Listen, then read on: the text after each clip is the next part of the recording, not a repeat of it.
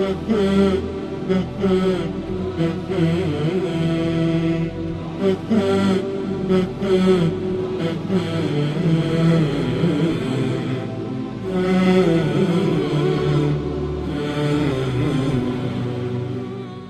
الله الرحمن الرحيم. الحمد لله رب العالمين.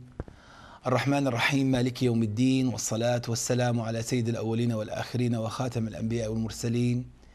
سيدنا محمد وعلى آله الطيبين الطاهرين وصحبه الغر الميامين رضوان الله تعالى علينا وعليهم أجمعين. ثم أما بعد ما زلنا في رحاب سورة المزمل ووصلنا إلى قول الله تعالى وذرني والمكذبين أولي النعمة ومهلهم قليلا. نحن تكلمنا في الدرس الذي مضى عن قول الله تعالى واهجرهم هجرا جميلا. وقلنا ملخص الأمر أنه اهجرهم هجرا جميلا أي أنه لا تعاملهم كما كانوا يعاملونك. إنما عامل أو تقبل آه، أو عامل إساءتهم بالإحسان لأنه هذا هو الهجر الجميل أنه لا تقابل من أساء إليك بالإساءة. واختلف أهل التفسير في أنه هل هذه الآية منسوخة أم أنها ليست منسوخة. فذهب البعض على رواية لقتادة كما ذكر ذلك الطبري والماوردي والقرطبي والرازي ذكروا على أنه يعني قول عن قتادة عن أن هذه الآية نسخت بالسيف. ولكن الراجح كما ذكره أهل التفسير وأهل التحقيق على أن هذه الآية تتعلق بالأخلاق وآيات الأخلاق وحسن الخلق للنبي عليه الصلاة والسلام ليس له تعلق بالنسخ. فكما هو معروف أنه النبي عليه الصلاة والسلام على خلقه العظيم فإنه لا يتعلق هذا الأمر بنسخ ما هو من جميل خلقه صلى الله عليه وسلم. فجاءت الآية التي بعدها وذرني والمكذبين أولي النعمة أي أنه خلي بيني وبينهم. وهذا الأمر يقال عندما يكون من هو قادر على أن يكفيك أمرك فيقول لك ذرني وذلك الأمر. أي اتركني وذلك الأمر فإني سأكفيك مؤونته. كذلك كأن الله سبحانه وتعالى يقول للنبي عليه الصلاة والسلام إن آذوك وإن عاملوك معاملة السوء فاتركني لهم وخلي بيني وبينهم فإني قادر على أن أجازيهم على هذا الصنيع السيء الذي قاموا به مقابلة لدعوة النبي صلى الله عليه وسلم. وذهب الإمام الراغب الأصفهاني في تفسيره قال والوذر هو على معنى قطعة اللحم وسميت وذرا على اعتبار أنها مهملة لا قيمة لها. فكأنه ذرني هنا أي أنه كأن المتروك هذا هو من لا قيمة له ومن لا مقام له ومن لا حساب له. فكأنه جاءت هذه الكلمة المشعرة بقلة مكانتهم وسوء صنيعهم وعدم احترامهم من خلال هذه الكلمة. قال وذرني والمكذبين المكذبين لا شك أنهم مكذبين بما جاء به النبي عليه الصلاة والسلام وخصهم بأولي النعمة أي أنهم أن الله أولاهم تلك النعم فكان الأولى بهم أن يقوموا بشكرها وأن يقوموا بحقها ولكنهم قاموا بضد ذلك من الإساءة إلى ما جاء به النبي عليه الصلاة والسلام والوقوف في وجه الدعوة إلى الله سبحانه وتعالى. أو أنه كما ذهب ذلك أيضا الماوردي والرازي قالوا أولي النعمة أي كأنه إشعار على أنه الذين اعترضوا ووقفوا في الطريق هم أهل الغنى وأهل المال والترف والجاه وكأنه يعني إشعارا بقول الله تعالى إن الإنسان لا يطغى أن رآه استغنى. ومنهم من قال أولي النعمة إنما هو تعريض بهم أي أنهم كان الأولى بهم أن يقوموا بشكر الله على هذه النعمة التي أولاهم الله سبحانه وتعالى إياها دون غيرهم من الخلق ولكنهم أخذوا ما أنعم الله به عليهم أداة في محاربة دعوة الله سبحانه وتعالى. والنعمة والنعمة كما ذكر ذلك قطرف في المثلث وكذلك ابن السيد البطليوسي في المثلث على أن النعمة هي يعني الحالة والترف والجاه والمقام كله يعبر عنه بالنعمة وجمعها أنعم. جمعها أنعم على الصحيح ممن قال أن النعمة النعمة تجمع على أنعم. والنعمة هي يعني آه، ما يغدق الله سبحانه وتعالى على العبد من آه، طيب المعيشة وطيب الطعام وطيب المأكل والمشرب والمسكن وجمعها نعم جمعها نعم ونعمات أيضا تجمع على هذا. والنعمة قالوا هي المسرة والفرحة النعمة وجمعها نعم. ولذلك لاحظوا حتى الجموع يعني أهل التفسير ينتفعون كثيرا من قضية الجموع في توجيه بعض المعاني. يعني لاحظوا مثلا في قول الله تعالى آه، من باب الانتفاع بالجمع لاحظوا مثلا في قول الله تعالى آه، تجري بأعيننا جزاء لمن كان كفر. تجري بأعيننا هنا من منهم بعض أهل التفسير قال تجري بأعيننا أي بعيون الماء التي أجريناها. لكن التحقيق في ذلك أنه ليس بصحيح هذا الكلام. لماذا؟ لأنه الأعين أعين عيون الناس تجمع على أعين وعيون الماء تجمع على عيون. فلما قال أعيننا ما أراد عيون الماء لأنه جمع عيون الماء عيون وجمع أعين الناس أعين. ولذلك لما قال تجري بأعيننا إذا بحفظ منا ومرأة منا وكلاءتنا كما ذكر ذلك البخاري وغيره من أهل التفسير. لذلك لاحظوا هنا يعني مرات كثيرة ينتفع أهل التفسير من صيغ الجمع. في تفريق في دلالات المعنى. قال أولي النعمة ومهلهم قليلا. ومهلهم المهل هو التأودة والسكون. التأودة والسكون كما ذكر ذلك الإمام الراغب وكذلك السمي الحلبي وغيرهم والفيروز أبادي. قالوا أنه آه، مهلهم قالوا آه، يعني كما نقول يقول الرجل لأخيه يقول مهلا أي رويدا أي تمهل في ذلك فمهلهم آه، قليلا كما قال تعالى فمهل الكافرين امهلهم رويدا. فمهل وأمهل آه، الصيغتان آه، كما ذكر الأزهري في معاني القراءات منهم من قال على أنها على معنى واحد ومنهم من خالف بين المعنيين ومنهم من قال مهلهم أي أنه اتركهم واترك حسابهم على الله سبحانه وتعالى فإن الله سيتولى ذلك الفعل الذي فعلوه وشنيع ما صنعوا فإنه سيجازيهم بما فعلوا جزاء عظيما.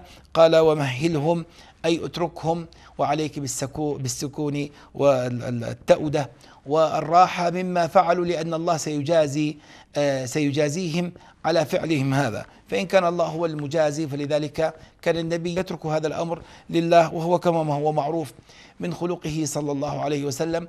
فإنه إذا كان يعني أي شيء يجري للنبي عليه الصلاة والسلام في أمر نفسه فإنه كان يسامح ويتجاوز عن ذلك من باب الحلم ومن باب الكرم لا من باب الضعف حاشا النبي عليه الصلاة والسلام. أما إذا تخطى الأمر أو وصل الأمر إلى أمر من حدود الله فإنه كان يغضب آه، غضبا شديدا لحدود الله ولأمر الله. وهذا معروف من السنن ومن السير آه، فالأحاديث كثيرة في ذلك. فهنا يقول الله سبحانه وتعالى للنبي ومهلهم قليلا وكما قلنا هذه السورة أيضا فيها إشارة إلى الدعاة وإلى من يقوم بأمر الله على أنه يتقبل من الناس لأنه في الناس من فيهم من السوء من ربما يقف عثرة في طريق الدعوة فلا يكون آه، أمثال هؤلاء هم آه، يعني أداة للصد عن سبيل الله وأداة للرجوع عما آه، أراد الله سبحانه وتعالى مما أوصى به نبيه صلى الله عليه وسلم. قال ومهلهم قليلا. وهنا اختلفوا في القليل. ما هو المراد من هذا القليل؟ قالوا إما القليل أنه يمهلهم حتى تنتهي الدنيا إلى يعني انتهاء الدنيا. ومنهم من قال القليل أن المراد بها نهاية آجالهم كما ذكر ذلك الماوردي. ومنهم من قال أن القليل المراد به إلى حين معركة بدر كما ذكر ذلك القرطبي والرازي. وتقول السيدة عائشة رضي الله تعالى عنها لما نزلت هذه الآية آه، يعني ما مضى وقت كثير حتى وقعت وقعة بدر آه، الكبرى وكان آه، ما وعد الله سبحانه وتعالى من الجزاء لهؤلاء العتاة الطغاة هم الذين يعني جازاهم الله بما فعلوا. وفاتنا أن نتكلم عن أولي النعمة. من هم هؤلاء على الخصوص؟ منهم من قال هم المطعمين العشرة الذين تكفلوا بإطعام آه، من خرج من قريش في غزوة بدر؟ وحتى يذكر القرطبي يقول وكان العباس رضي الله تعالى عنه عم النبي عليه الصلاة والسلام من أحد العشرة الذين كانوا قد أنفقوا للخروج آه، في غزوة بدر ضد النبي عليه الصلاة والسلام. ومنهم من قال على أنه أولي النعمة هم آه، هو بيت آه، آل المغيرة الذين تكفلوا بجزء كبير من إعداد الخروج ليوم بدر. ومنهم من قال أن آل المغيرة كان لهم يعني دور كبير في قضية محاربة دعوة النبي صلى الله عليه وسلم.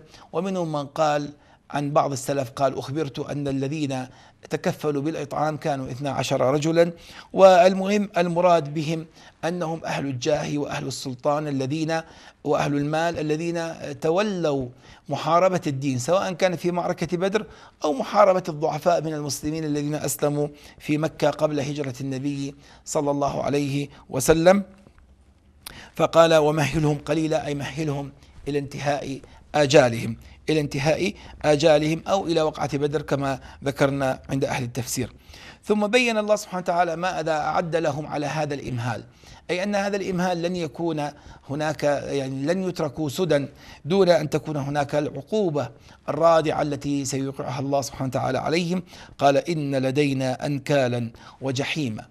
إن لدينا أي أنه ما عند الله ما أعده الله لهؤلاء الكافرين وهذا من باب التحكم بهم لأن عادة الإعداد وتهيئة الشيء تكون للضيف المرحب به تكون للكريم تكون لرجل عظيم الشأن أن أن يستقبل بحفاوة وعطاء وغير ذلك. لكن الله سبحانه وتعالى أراد الاستهزاء بهم فقال إن لدينا آه، أنكالا وجحيما إن لدينا وأعددنا لكم وهيأنا لكم أنكالا وجحيما.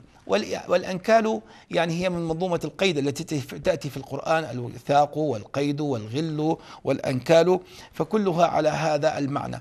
لكن النكل له خصوصية خاصة ومنه النكال ومنها نكل عن نكل في يمينه وغير ذلك من الألفاظ التي سنبين معناها فالنكل في أصله هو المنع المنع والنكال هي العقوبة العظيمة التي إذا سمع الرجل بها سمع بها أحد امتنع أن يفعل فعل ذلك الذي وقعت عليه العقوبة. هذا بالنسبة لمعنى النكال وهذا ما ذكره الفراء وذكره جمع كبير من أهل التفسير. قالوا إن لدينا انكالا وجحيما وهنا قالوا انكالا إما على معنى قيودا كما ورد عن السلف وقالوا إما انكالا على معنى الأغلال ولذلك قال الحسن البصري قال أتعلمون أن الله سبحانه وتعالى جعل الأنكال في آه، أيدي وأرجل الكافرين حتى لا يهربوا من النار إنما النكل هو فيه معنى الثقل وفيه القيد فكلما أرادوا أن يتحركوا ويعتلوا في حالهم استفلوا بتلك القيود. فكأن فيها معنى زيادة عن معنى القيد والغل أن فيها معنى الثقل الذي يجذبهم إلى قعر جهنم. أعاذنا وأعاذكم الله. وقد ورد أن الأنكال هي قيود من نار آه، يقيد بها أهل النار. آه، عاذنا وعاذكم الله.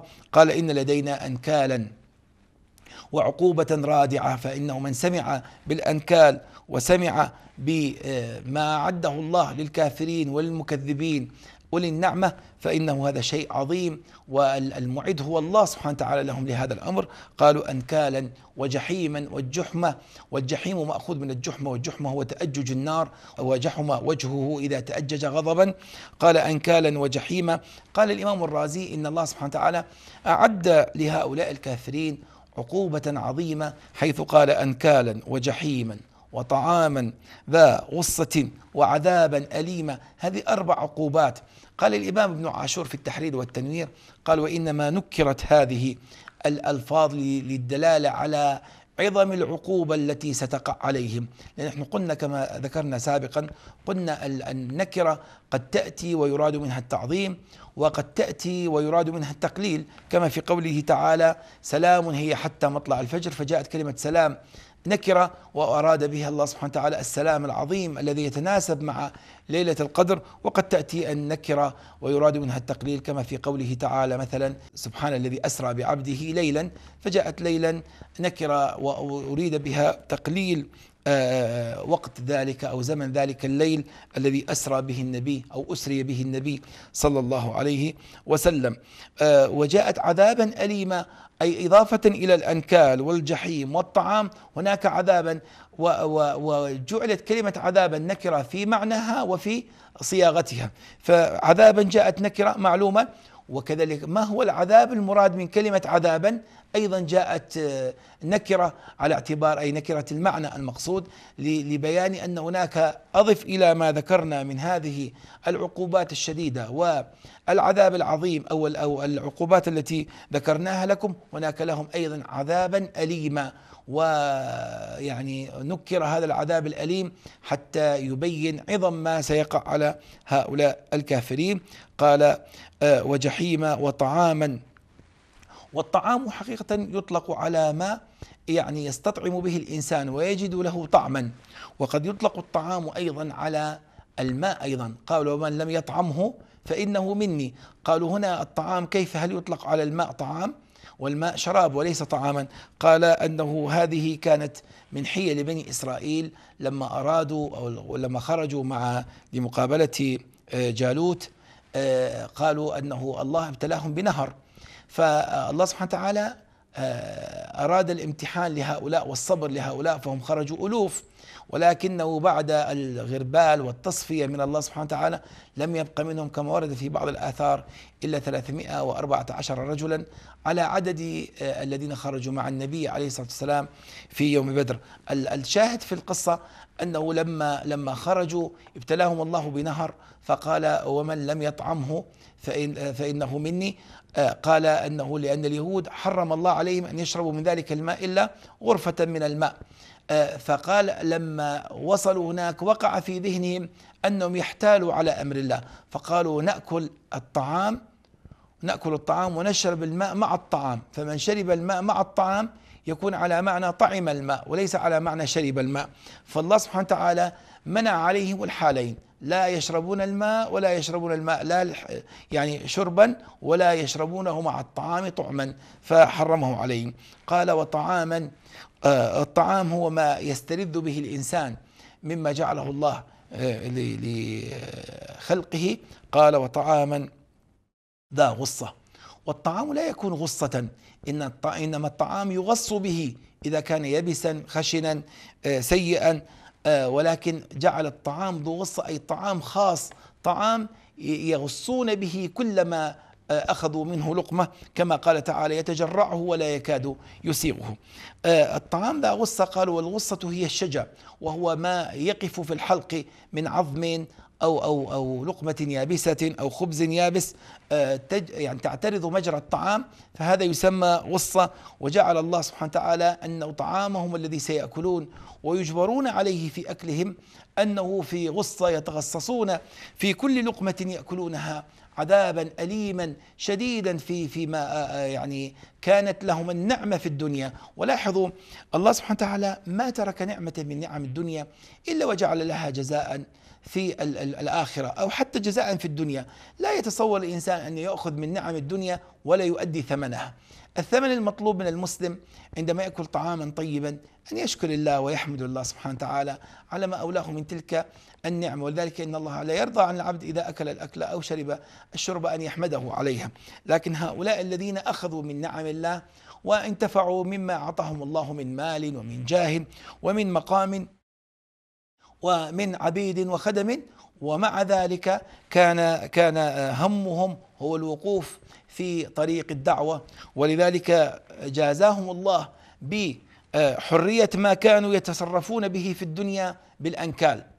والنعيم الذي كان يخدمه الخدم بالتبريد عليهم والترويح عنهم من حر الدنيا قابله بالجحيم وقابلهم بالطعام الهنيء الذي كانوا يأكلونه. ويستمرئون به ويتنعمون به في الدنيا بالطعام ذو غصة.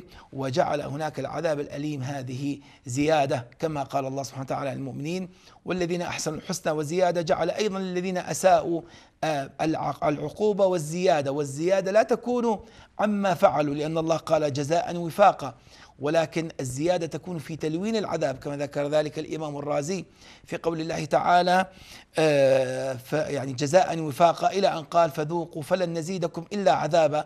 قال لا تكون زيادة إلا خارج الوفاق وإن كانت وفاقا فلا تكون زيادة وإن كانت زيادة فليس وفاقا. فكيف جمع الله سبحانه وتعالى بين أنها كانت زيادة وكانت وفاقا فقال أنه تلوين العذاب عليهم أن يكونوا من حال إلى حال. فهذا التلوين بالنسبة لهم هو الزيادة وليس هناك زيادة إنما كانت جزاء وفاقا لذلك يذكر آه، أيضا بعض أهل التفسير يقولون مثلا ألم الساق آه، ليس كألم السن وألم السن ليس كألم الرأس. فلكل ألم هو آه، ذوق ومذاق خاص وعقوبة أو ألم خاص آه، يختص به وكله يسمى عذابا أليما.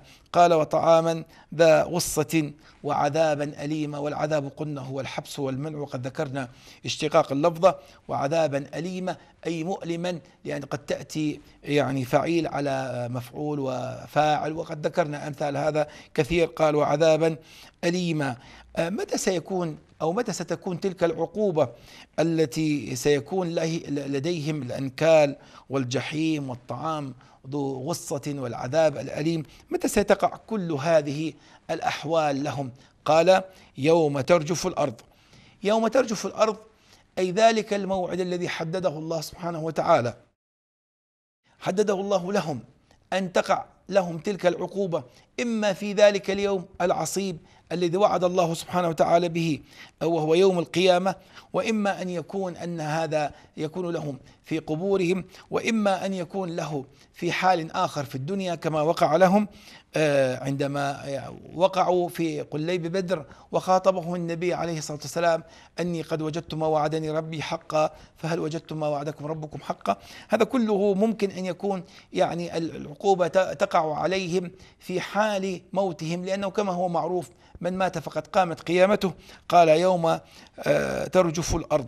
آه، ترجف الأرض الرجفة هو الاضطراب والحركة وترجف الأرض أي تتحرك الأرض وقال ترجف الأرض آه، بصيغة المضارع. بينما قال آه، وكانت الجبال كثيبا مهيلة كانت على الماضي. قال وذاك لتحقيق أن الأمر لما كان الأمر واقعا لا تغيير له لا تغيير لأمر الله كانت بحكم الأمر الواقع فأخبر عنه بالماضي. أما رجف الأرض فعبر عنه بالمضارع للدلالة على أنه هو حالة متجددة متكررة ستكون في ذلك اليوم العصيب وترجف الأرض والأرض المراد منها جميع الأرض لا يراد منها مكانا واحدا. ولذلك الله سبحانه وتعالى لما عاقب بعض الأقوام السابقة بالرجفة والصيحة وغير ذلك إنما كانت هذه قلنا الصيحة هي تؤدي إلى الرجفة كما ذكر الله سبحانه وتعالى عن بعض الأقوام الذين آه، آه، أهلكهم من قبل. قال يوم ترجف الأرض هذه الأرض التي جعلها الله مستقرا وجعلها ذلولا فامشوا في مناكبها وجعلها مهادا وجعلها بساطا وجعلها فراشا ويعني آه، وطأ الله سبحانه وتعالى للإنسان أن يسير عليها آمنا مطمئنا. في ذلك اليوم يزيل الله سبحانه وتعالى أمنه عن تلك الأرض واستقرارها. في ذلك اليوم ترجف الأرض رجفة عظيمة. ترجف الأرض رجفه عظيمة حتى تضيع جميع معالم الأرض فلا يبقى عليها معالم. والجبال البعض ربما سيقول هي إذا رجفت الأرض سترجف الجبال. فما الحكمة أن الله سبحانه وتعالى ذكر الجبال وفصل فيها فإذا هي يعني رجفت الأرض سترجف الجبال فما الحاجة إلى ذكر الجبال على التخصيص؟ آه كما قال وحملت الأرض والجبال فدكتا دكة واحدة. فإذا هي حملت الأرض ستحمل الجبال أيضا معها. فما الحاجة إلى التخصيص أو لهذا التفصيل؟ وآيات كثيرة يذكر القرآن فيها يعني بعض التفصيل من ذكر الأرض أو ذكر الجبال. وقال أهل التفسير في الجواب عن ذلك أجوبة كثيرة. منها قالوا أن الجبال هي أعظم المخلوقات التي خلقها الله سبحانه وتعالى على الأرض فهي ثابتة مستقرة وكما ورد في بعض الآثار عند الطبري عن ابن عباس قال إن الله لما خلق الأرض أخذت تختلج وتهتز كما يختلج لحم الجزور فألقى الله عليها الجبال فسكنت فهذه الجبال التي قال الله عنها والجبال أوتادا التي هي مغروسة في الأرض مثبتة للأرض هذه آه، ذكر الله أنها ترتجف وجعلها لثباتها ولعلم الناس أنها هي ثابتة في الأرض جعلها ترتجف. ما الفائدة إذن من السؤال في قضية ترجف الأرض والجبال؟ قال أهل التفسير التفصيل في مقام العذاب تهويل وتعظيم والتفصيل في مقام النعم بيان لشكر الله والدعوة إلى شكر الله في ذلك. لذلك لما ذكر الله يوم ترجف الأرض والجبال إنما أراد دعوة الناس وبيان عظم ذلك اليوم خاصة لمن لم يعد إعدادا لذلك اليوم. إعداد يلقى الله سبحانه وتعالى فيه. نتوقف إلى القدر إن شاء الله على أن نكمل معكم في الحلقة القادمة. إلى ذلك الموعد. نستودعكم الله. والسلام عليكم ورحمة الله وبركاته.